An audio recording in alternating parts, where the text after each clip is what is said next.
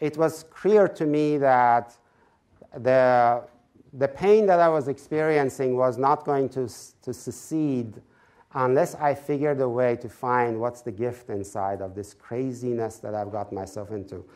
My life was breathlessly painful day after day. And I, in order to get my, myself out of that pain, I needed to ask the question how can I possibly take what has happened to me and actually begin to turn that into a gift of some kind?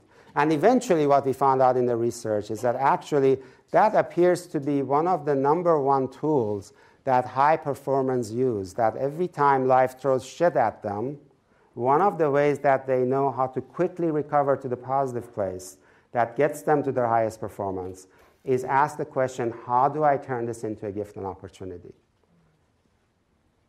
The question of how do I take everything into a gift and opportunity is, is one that allows you, uh, when, when things don't go according your, your way, by, that, by the way, life does to you every other day, every other hour of every other day, as things don't go your, go, your, go, go your way, you are at a fork in the road. And the fork in the road, either your saboteurs are going to come in and say, shit, shit, shit, we're screwed.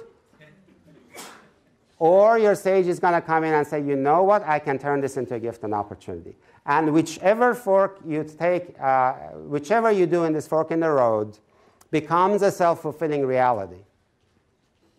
That's the power of this, that whichever of these perspectives you bring becomes a self fulfilling reality. So think about if you're in the middle of the most important project of your life, and mistakes and failures are happening by you and others. If the saboteurs come in and say, God damn it, this is terrible, this is awful, we've got to fix this, we're in trouble. And with that energy, as you're running a team, you have shifted everybody in the first 30 seconds to their saboteurs. And within that vortex of negativity you have created, everybody's brain has gone to survival brain which is not very creative, which is not very resourceful, which is just watching its ass, not really going to come up with what's going on and to improve things as much as you could. But if you say, you know what, mistakes and failures have occurred and we can turn this into a gift and opportunity, you become curious, you become compassionate, you become empathic to yourself and others. Being in this trouble together, the curiosity is going to bring out a lot more information about how do you fix this thing now, and your brain stays in the positive region of the brain, the, the PQ region of the brain, so that you actually have access to your creative powers.